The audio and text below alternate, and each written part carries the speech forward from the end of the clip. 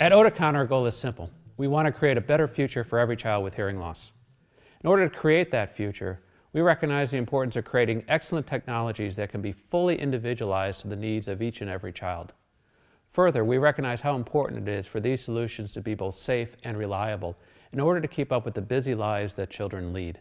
Our technologies must make sense in the broad range of environments that children operate in. And clearly, one key situation is in the classroom. All professionals recognize the important role that FM technology plays in making sure that the teacher's voice comes in at a loud and clear level for the child. In the classroom environment where the child has the environmental microphones of the hearing aid open, there are procedures in place to make sure that the voice level of the teacher, when transmitted via FM, comes in at a level that is clearly above the ambient sound coming in through the environmental microphones of the child. However, those procedures assume that the listening levels in the classroom are relatively stable.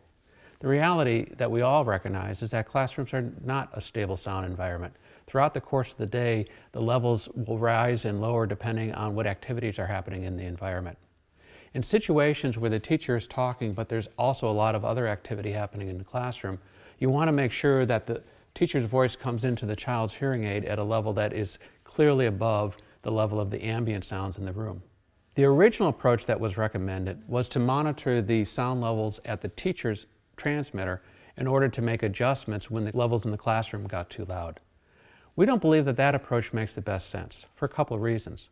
First of all, if there's sound going on in the classroom, it's more likely being generated by the students out here in the classroom and not around the teacher's voice.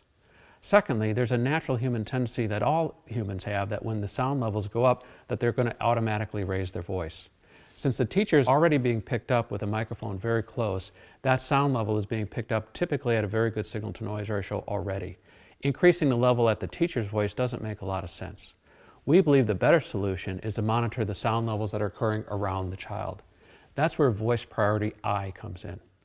Voice priority I is a function in the Sensei hearing aid that when an FM signal is being detected by the hearing aid, it will boost the FM signal to a sufficient level to make sure it compensates for any above average levels going on in the classroom.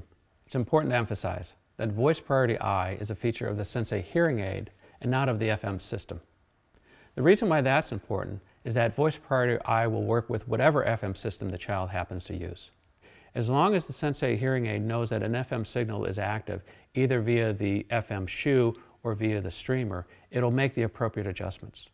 Whenever the teacher is talking and the sound levels around the child are above a moderate level, Voice Priority I will add additional gain to the FM signal to make sure that the teacher's voice is always coming in at a clear and comfortable level for the child. Importantly, if either you or the parents decide that they want this function disabled, that is easily done in the Genie fitting software. Clearly, we recognize the need for our solutions to make sense in the most important situations that children find themselves in. Obviously, classrooms are a key environment for children as they grow and develop. We take very seriously our partnership with you, and we work together with you to create a better future for every child with hearing loss. Thank you.